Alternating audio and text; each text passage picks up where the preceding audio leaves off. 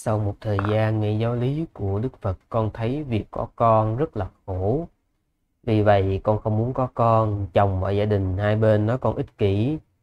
Con có thể bỏ qua nhưng bạn đồng tu nói con là con cái là duyên nợ. Vì vậy kiếp này không có thì nếu là nợ thì kiếp sau cũng phải trả.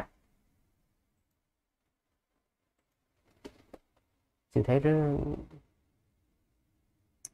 xin hỏi quý vị nha. Cái cái chúng sanh mà nợ mình nợ họ đấy nhiều hay ít?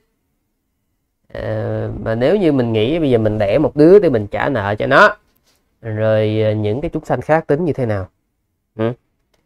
à, mà nếu như mà mình nói là mình phải đẻ ra để mình trả nợ ấy thì là mình phải đẻ liên tục cơ đẻ cả đời. À, vừa mới à, dứt sữa xong đứa này là phải đẻ liền đứa khác tại vì nhiều chúng sanh nợ ờ, mình nợ nhiều chúng sanh lắm, mình nợ nhiều chúng sanh lắm. Mà mình, nếu như theo cái kiểu quan điểm đó là mình phải đẻ cho tới chừng nào mình chết thì thôi. Bởi vì rất là nhiều chúng sanh nha, là chủ nợ của mình, nhưng mình nợ họ nhiều lắm. Ừ. chả sao hết nổi.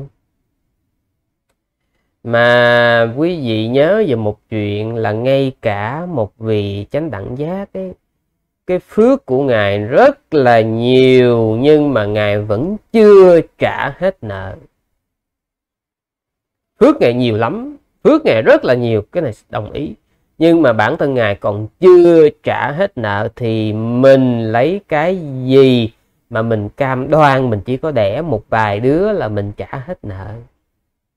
Chủ nợ mình nhiều lắm nha, chủ nợ mình nhiều lắm à, cho nên cái cách tốt nhất là thôi à, lo tu tập ừ, phát triển ừ, những cái thiện pháp để mình sớm ngày đạt được cái sự giác ngộ giải thoát.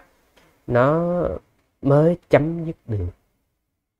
Chứ còn mà muốn đẻ để trả nợ thì xin thưa là mình đẻ dài dài nha. Và chắc chắn là mình cũng đã đẻ từ vô lượng kiếp rồi cho tới bây giờ đấy nó vẫn còn ừ, thành ra là phải cẩn trọng với cái suy nghĩ với cái suy nghĩ đẻ để trả nợ nha ừ.